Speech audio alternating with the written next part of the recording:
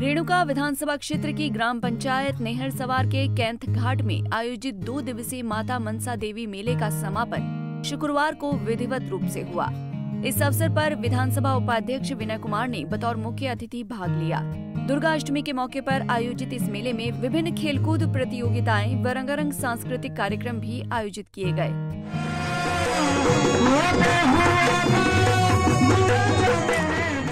विधानसभा के उपाध्यक्ष विनय कुमार ने अपने संबोधन में नवरात्रों की शुभकामनाएँ देते हुए कहा कि हिमाचल प्रदेश के अधिकांश मेले और त्योहार पौराणिक परंपराओं पर आधारित हैं। माता मनसा देवी मेला इसी समृद्ध संस्कृति एवं आस्था का प्रतीक है। सबसे पहले मैं आप सभी लोगों को इस दुर्गाष्टमी के पर्व पे जो कैंत घाट में माता मनसा देवी के आशीर्वाद से ये मेला मनाया जाता है, उस उपलक्ष्य में सभी को बहुत बहुत बधाई और शुभकामनाएँ देता हूँ। जो विकास की गाथा कांग्रेस पार्टी ने यहाँ बुनी है। जब से मुझे जो अरसा हुआ है,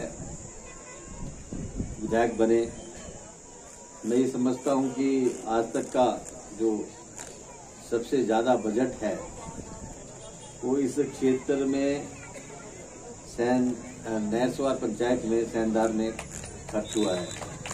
तो निश्चित तौर पे सवार तक भी हमने सड़क पहुंचाई है और सवार से आगे एक दो किलोमीटर, दो एक किलोमीटर की और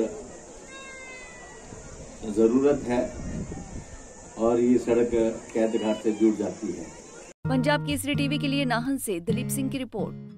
हमसे जुड़े रहने के लिए हमारे YouTube चैनल को सब्सक्राइब करें और नई वीडियो की नोटिफिकेशन के लिए बेल आइकॉन को दबाएँ। अगर आप ये वीडियो Facebook पर देख रहे हैं तो लाइक ज़रूर करें और ज़्यादा से ज़्यादा शेयर करें इसी तरह के और भी अपडेट्स के लिए फॉलो करें हमारा Instagram पेज हिमाचल